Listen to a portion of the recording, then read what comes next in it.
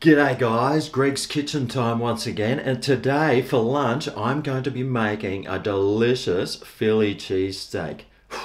How good do they look? Oh, I can't wait to devour one of these. So let me show you the ingredients that I'm using today.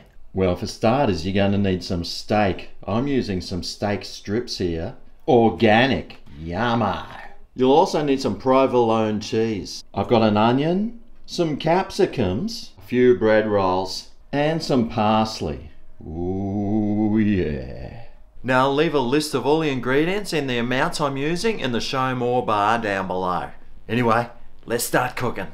Alright, well for starters I better warm up my frying pan I'm using. And I got nearly half a kilo of meat there, so I'll use about a third of each of these capsicums. Now, you could just use one green one or one red or one yellow, but I'm just doing this for the extra color that this is going to bring to this delicious dish. So we'll cut these into nice sort of fine strips.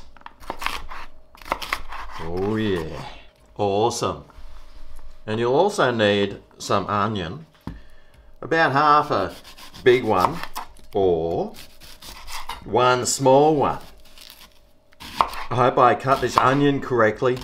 I know how people get quite upset at my onion cutting skills or lack thereof. I might even just leave these like this actually. Then I can't get into so much trouble.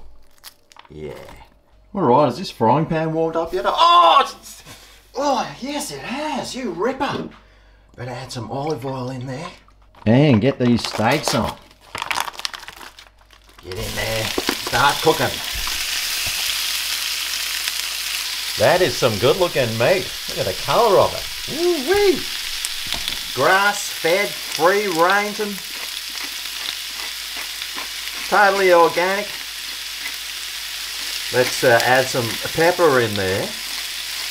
A must for any meat dish. And we'll add some salt too.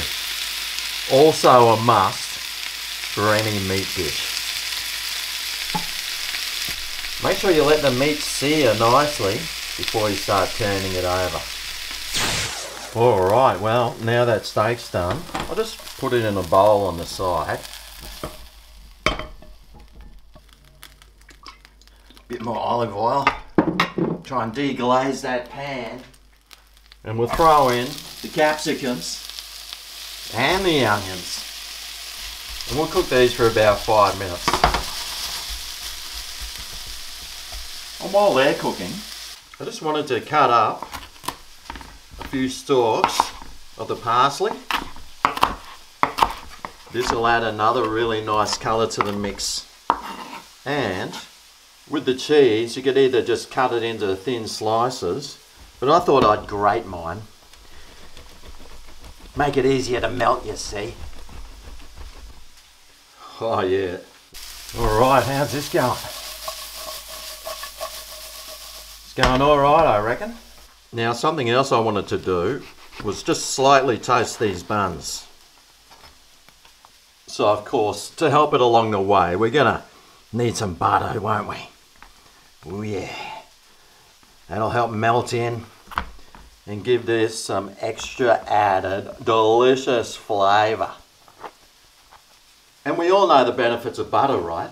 Well, about 40 years ago, I used to be much smaller, and then I started eating butter, and now I'm really tall. So how about we use the air fryer to heat these buns up?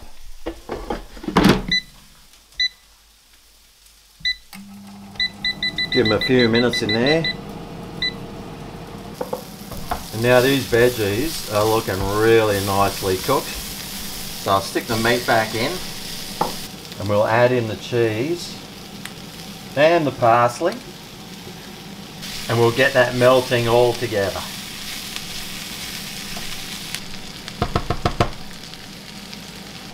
I better turn the heat right down actually because I don't want it burning this cheese.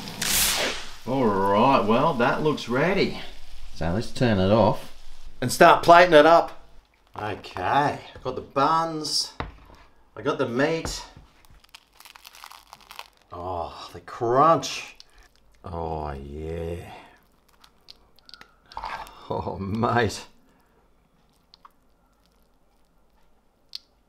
And there you have it, some delicious Philly cheesesteaks a la Greg's Kitchen. And feel free to add your own extra condiments as well. Mmm, you should smell this kitchen. Oh, mate, it smells so good. Anyway, let's give one of these a go. Yes. Oh man, this looks good.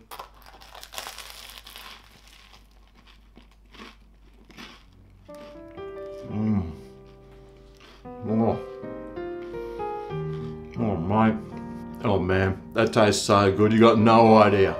Oh. Mmm. Mmm. Now, if you want to make this, I've left all the ingredients and the right amounts to use in the show more bar down below. But it's really tastes awesome and worth giving a go.